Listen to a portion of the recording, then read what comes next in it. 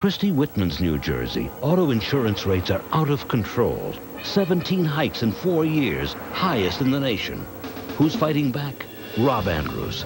In Congress, Andrews took on the big polluters, pension raiders, and the NRA for working families. As governor, he'll go after the insurance companies. He'll end automatic rate hikes and force companies who want to sell health or home insurance to cut auto rates first. Let's fight back. Rob Andrews for governor.